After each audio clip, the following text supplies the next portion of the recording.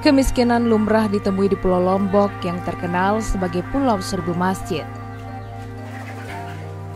Silvi Fatmawati, gadis kecil yang tidak mengerti apa-apa ini, harus dihadapkan dengan permasalahan yang tidak mudah. Orang tuanya bercerai dan meninggalkannya sejak Silvi masih bayi. Lalu Silvi dirawat oleh neneknya, Papuk Jumna, tua dan tidak berdaya. Papuk Jumna hanya mengandalkan belas kasih tetangga untuk menghidupi Silvi dan menyambung hidup sehari-hari.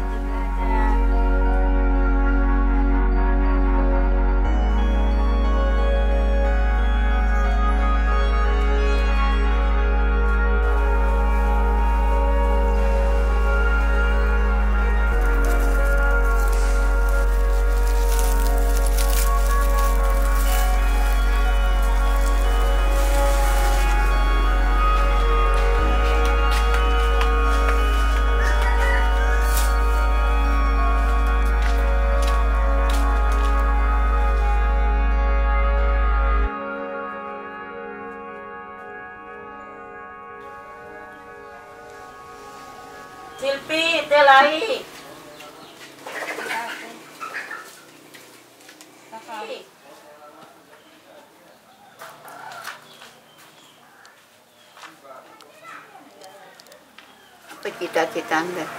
jadi dokter nama nama udah sakit mama ke ingin jadi sehat adik dia mau aku sampai ke Bali Mudah-mudahan aku ada selamat dunia akhirat. Ya. Ada dengan jadi dengan pintar, aku ada jadi dengan sholat, jadi jadi dengan bagus.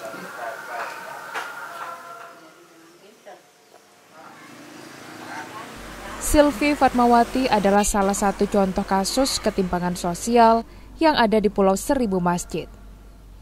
Masih banyak anak-anak lainnya yang memiliki nasib lebih buruk dari Silvi. Mereka harus merelakan kebahagiaan masa kecil, menggadaikan masa depan turun ke jalan mengais rezeki dengan risiko yang membahayakan jiwa.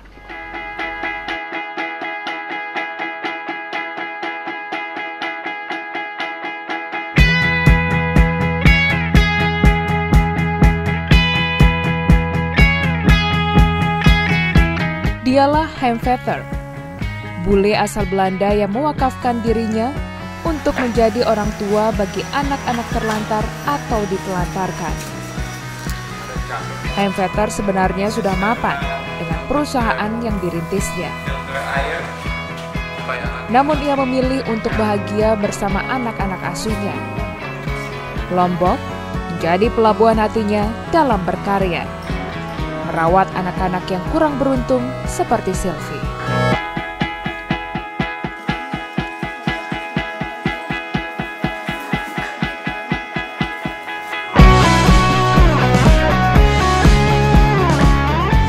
Sedih melihat anak-anak di jalan mengamen dan mengemis, mengetuk hatinya. Karena di negara asalnya, setiap anak dapat sekolah gratis. Sementara kondisi yang ditemuinya di Lombok sangat ironis. Pada 2006, Heimvetter mendirikan Yayasan Peduli Anak, lembaga swadaya masyarakat terpadu yang memberikan rumah, pendidikan, dan layanan kesehatan kepada anak-anak yang kurang beruntung.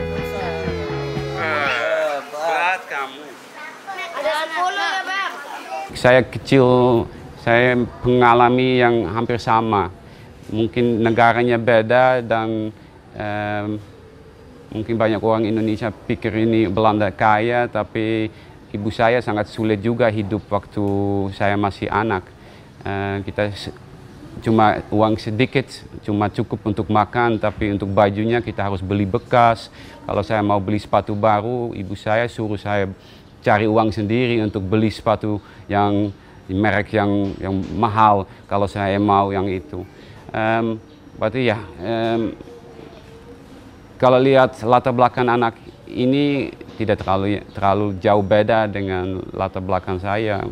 Saya juga ada banyak kesulitan waktu kecil dan saya bisa empati uh, dengan anak di sini dan merasanya juga uh, tidak ada bapak di dalam hidup saya waktu saya kecil dia tidak ada cuma ibu aja yang yang akhirnya yang mau uh, mengasuh saya lagi.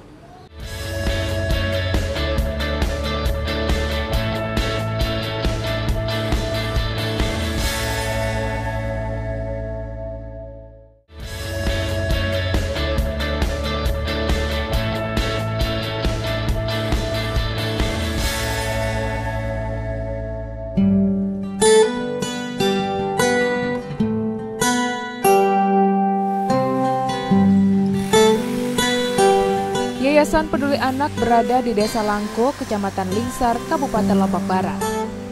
Menempati areal seluas 1,5 hektar, menjadi rumah dan tempat bernaung anak-anak yang kurang beruntung. Syabri salam. Assalamualaikum warahmatullahi wabarakatuh. Yayasan Peduli Anak memberi secerca harapan kepada Silvi dan ratusan anak-anak lainnya untuk menggapai mimpi meraih masa depan. Yayasan ini hanya diperuntukkan bagi anak-anak yang terlantar, ditelantarkan, korban kekerasan seksual, dan anak-anak kurang mampu. Seperti layaknya sekolah pada umumnya, Yayasan Peduli Anak memberikan layanan pendidikan dasar. Mereka dapat tinggal dan belajar menimba ilmu secara gratis tanpa dipungut biaya.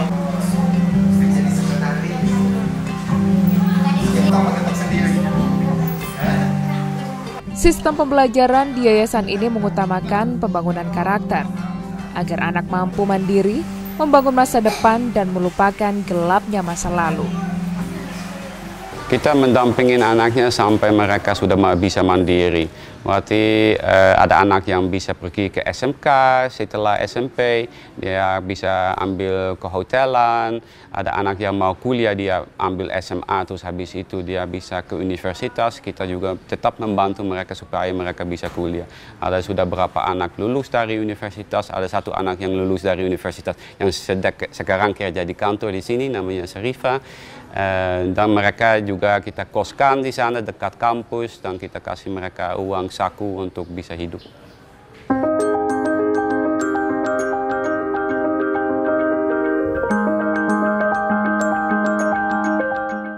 Bencana gempa bumi beruntun di Pulau Lombok pada pertengahan tahun 2018 memporak-porandakan Yayasan Peduli Anak. Bangunan yayasan rusak, kegiatan yayasan sempat terganggu. 12 tahun usaha membangun Yayasan Peduli Anak hilang seketika. Namun beruntung tidak ada satupun anak-anak ataupun karyawan di yayasan menjadi korban. Desa Langko di Kabupaten Lombok Barat merupakan salah satu daerah terparah akibat bencana gempa bumi di Pulau Lombok. Anak-anak sempat trauma dengan bencana gempa bumi itu. Kegiatan yayasan terpaksa dilakukan secara darurat karena kondisi bangunan yang sudah tidak aman dan tidak layak untuk digunakan.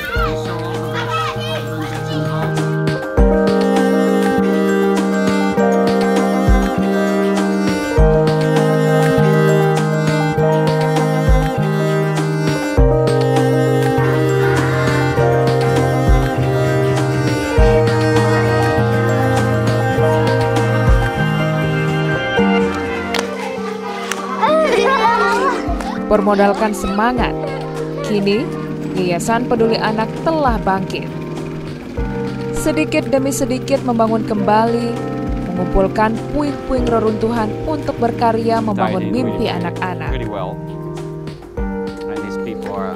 Bencana gempa bumi yang melanda menjadi pelajaran berharga bagi Han Peter. Kini, konstruksi bangunan yayasan, baik tempat tinggal dan tempat belajar untuk anak-anak, dibangun dengan mengacu pada standar tahan terhadap gempa bumi. Ketika terjadi gempa bumi, maka bangunan tidak akan mengalami kehancuran secara struktural yang dapat meruntuhkan bangunan. Ya, ya bangga sekali karena kita ini kerja bersama dengan dengan orang di sini. Keras sekali untuk buat ini untuk anak-anak untuk buat mereka uh, lagi bahagia untuk mereka untuk kasih mereka kesempatan untuk dapat masa depan yang yang baik dan bisa merehabilitasikan anak. Ada banyak anak di sini masuk ke sini karena mereka korban uh, kekerasan, korban narkoba dan mereka sangat-sangat berubah positif bagus di sini uh, menjadi orang anak yang yang yang lagi baik karena mereka dasarnya mereka baik anak ini tapi lingkungannya merusakkan jiwanya anak itu.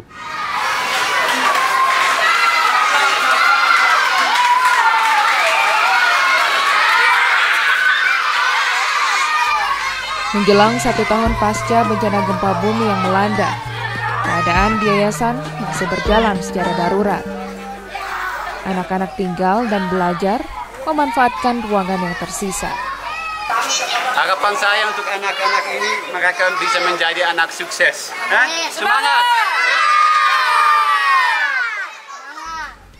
Tidak ideal memang. Namun Hemveter dan manajemennya tidak putus asa untuk menjaga mimpi anak-anak agar tetap bersinar. Mereka terus berusaha membenah yayasan dan menjaga semangat dan moral anak-anak untuk tumbuh. 75 anak tinggal di asrama yayasan. Mereka ada yang berumur 2 tahun hingga 18 tahun. Sejak berdiri, Yayasan Peduli Anak sudah memberikan perlindungan dan bantuan pendidikan kepada sekitar 300-an anak kurang beruntung.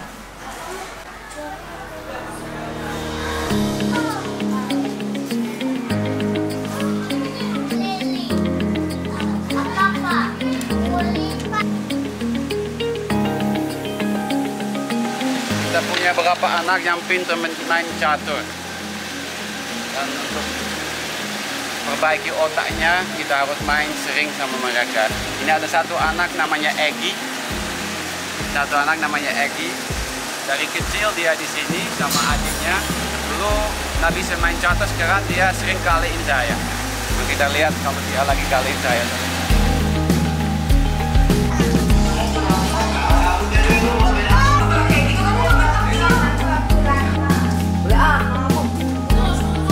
Egi, main catur.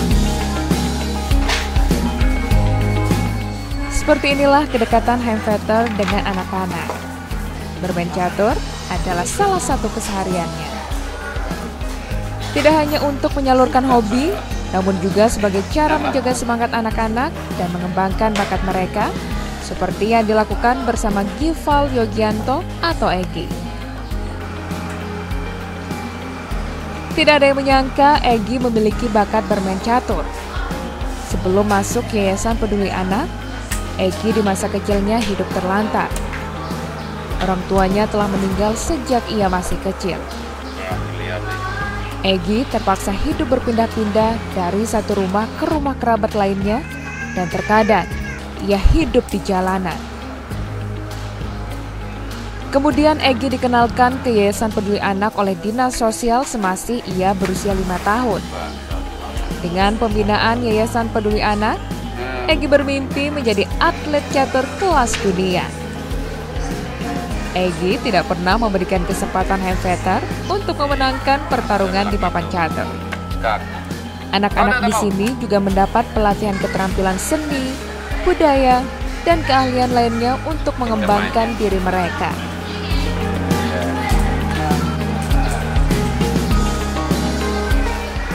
Sebagian besar anak-anak di yayasan ini sedari kecil tidak merasakan kasih sayang yang seharusnya mereka dapat. Heimvetter menghadirkan keluarga bagi anak-anak di yayasan. Kedekatan Heimvetter bersama anak-anak tumbuh secara alami walaupun mereka berbeda latar belakang. Interaksi seperti inilah yang membuat Heimvetter dianggap sebagai orang tua oleh anak-anak karena mereka mendapat kasih sayang dan merasa terlindungi.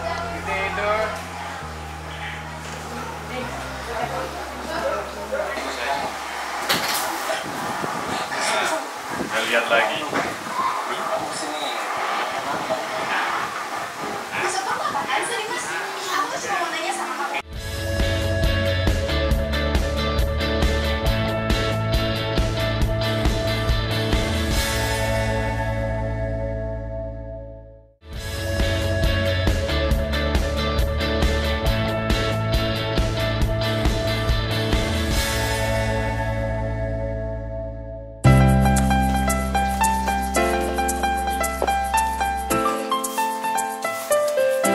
Yayasan Peduli Anak berkontribusi secara nyata menyelesaikan permasalahan pendidikan bagi anak-anak kurang beruntung. Syarifah, asal desa Jurang Jaler, Kecamatan Peraya Tengah, Kabupaten Lombok Tengah, adalah salah satu alumni Yayasan Peduli Anak.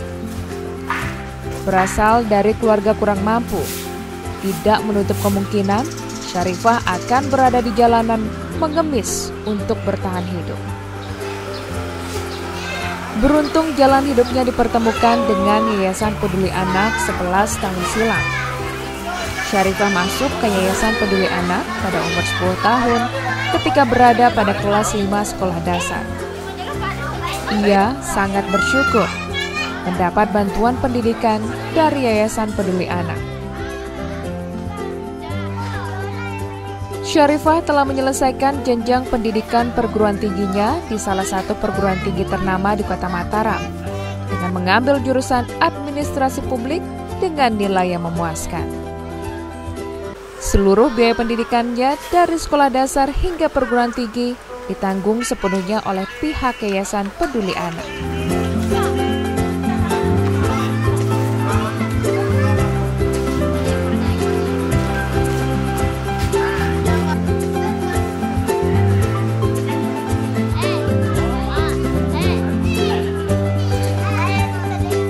Keluarganya kasih sayang dari semua pengasuh-pengasuh sampai pembina dan pemimpinnya juga eh, mereka seperti tulus sayang sama kita dan eh, rasa percaya diri kita bahwa apa mimpi yang tidak pernah kita bisa dapatkan eh, bisa terwujud atau gimana. Tapi semenjak di sini eh, rasanya mimpi itu bakalan jadi kenyataan buat kita semua di sini. Karena memang semua di, apa, tercukupi di sini dari masalah pendidikan atau makanan atau semua semuanya. Tidak pernah terbayang oleh Syarifah atas capaian yang diraihnya. Di yayasan inilah sedari kecil ia dibentuk menjadi pribadi yang mandiri dan kuat.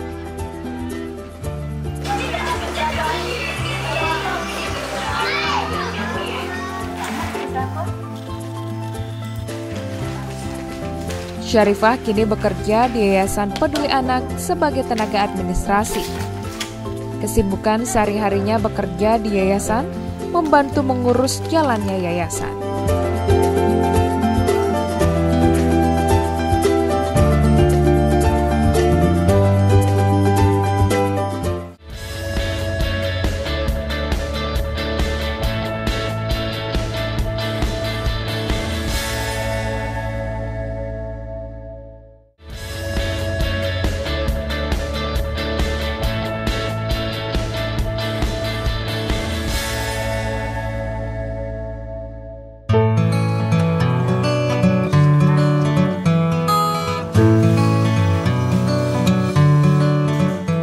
Operasional Yayasan Peduli Anak sepenuhnya berasal dari donasi. Namun tidak jarang merogoh kantong pribadi Heimveter untuk menutupi biaya yang tinggi. Namun itu semua dilakukan atas nama cinta kasih dan kepedulian kepada anak-anak. Pendidikan adalah cara yang ditempuh Heimveter untuk merubah nasib anak-anak yang kurang beruntung ini. Semua anak berhak mengenyam pendidikan, karena pendidikan menjadi bekal menggapai cita-cita. Itulah prinsip yang dipegang Hemveter.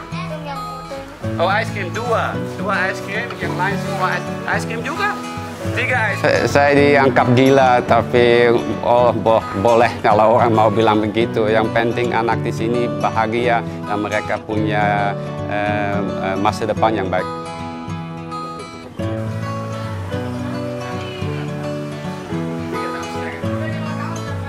Anak-anak di Yayasan Peduli Anak ini tidak ada yang meminta dilahirkan ke dunia. Kebahagiaan yang seharusnya mereka dapatkan sedari kecil sirna tenggelam karena keangkuhan orang tua mereka dan alasan ekonomi. Heimveter dengan Yayasan Peduli Anak berupaya menggoreskan tinta emas pada kehidupan anak-anak. Mengajarkan mereka menapaki tangga mimpi, menjadi pribadi yang percaya diri, untuk meraih masa depan yang lebih baik.